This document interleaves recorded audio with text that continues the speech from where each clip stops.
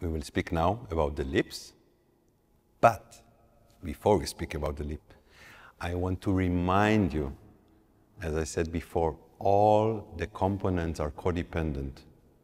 I will give you an example. If you have a stereo system and you have wonderful speakers, but one of the cables is not working, that's it. That's it. It's not working. Or if you have a CD player, or maybe I'm too old fashioned, I don't know what you're using nowadays, but every component is equally important. So when one component is not working well, then you move on. You look for the answer in your lips where your throat is not working well. Won't work. You look for the answer in your mouth, but you don't support. Won't work. So I remind you, check everything before you move on. I will give you an example. When I was in high school days, studying with one of my teachers, I had this habit. I don't know where I got it from, but it, I found it very helpful. On my music stand, I always used a piece of paper and I wrote down three to five points that at the moment, at that day, or at, in this week were very important for me. Let's say support, let's say lips, let's say staccato, whatever. I would put them on the piece of paper. On this other side, there was whatever I played, etude or scale or the piece of music that I was preparing. But I always kept looking on this paper on the right, checking the points. First point, check. Going to the second, check. Third, check. Four, check. Five, check. And back. Once this was working for me, after like two, three, four times of going down this list, I could throw this piece of paper. The next day or the next week, I had a new paper because something else bothered me. Maybe it was legato. Maybe it was vibrato. So I really encourage you, and we will speak later on about practicing in another chapter, just take it slow with a lot of patience. Good. So now let's get back into the lips. This was the order. Now we started from bottom to the lips, then will come the flute. The lips are of course very delicate. They form the, the air at the end of the flow of the air, they form it. And as we are all different, we all have different lips. So I cannot say that there is one way of embouchure formation that would work perfectly for everyone. Some have uh, thicker lips, some have um, thinner lips, broader, etc., etc., etc. I would say so. If it works for you, perfect. I just give you maybe a few points that might help. Okay? So, if you think of the lips like this rubber band, no? When you uh, pull it, no?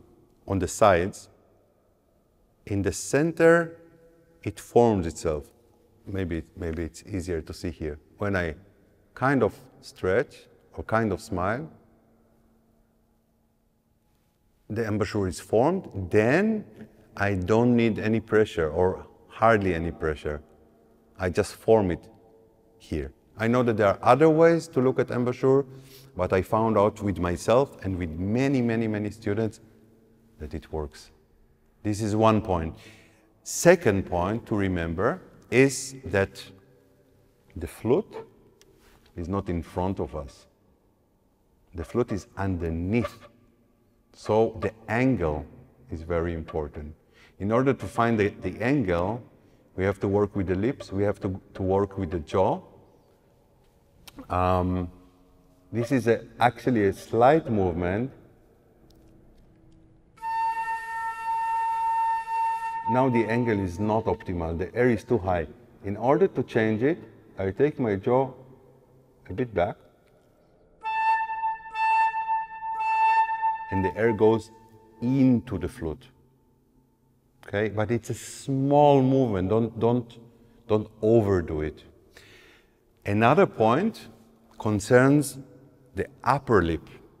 And this maybe would be a bit hard to see, but I, I will explain to you the, the principle. If those are the lips, upper and lower, in order to blow the air not straight but down, the upper lip actually has a lot of effect on the angle of the air. So I do kind of this movement, so back and I roll it a bit.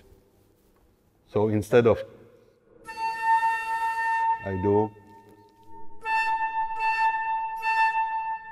but don't confuse it with pressing. When I press, I get this noise because the air spreads. So I form it here, as I said, like the rubber band, and then I help with the upper lip to let the air inside. Okay? Some people confuse this or they don't know it. So instead of doing all that, they cover or they close the mouth hole to get the angle. The problem here is that when we cover the mouth hole, we lose a lot of surface where we should blow air. And in this way, we lose overtone, we lose richness of the sound. It's like if this is the, the wall where we blow air and we cover the flute, we lose a lot of surface. Yeah?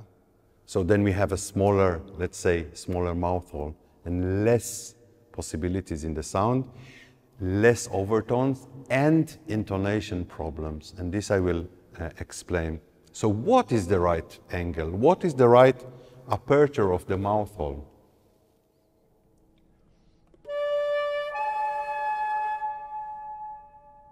Is this too open or too closed?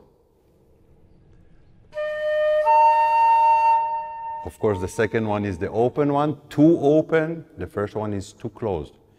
So what do we do? We take, I take, two notes, uh, a fifth apart, for instance, a D and an A. Why I take a D and an A? Because the D we call a long note, meaning that the tube is long, and the A the tube is short. Yeah, the air goes up till here. By D, it's much longer. Or we take E long and B short. It's a perfect fifth. What happens is that the longer notes, they bend much less by opening and closing or covering. And the shorter notes are very flexible, they move a lot. So when I cover too much, since the shorter note, the A, moves a lot down, the fifth is too small. When I open up too much,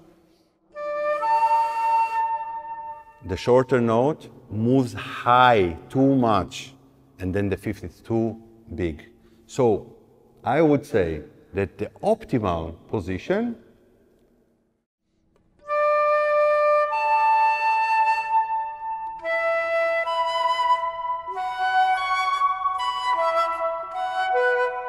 When I compare two notes, I know more or less, ah, this is a good position. And once you find a good position, this would basically, 95% of the time, would be your position for all the range of the flute and all dynamics level. You don't need to move. If you have a good enough flute, your intonation will be almost 100%. Of course, there are always some notes that we have to keep correcting. But this we will discuss later on the chapter of intonation.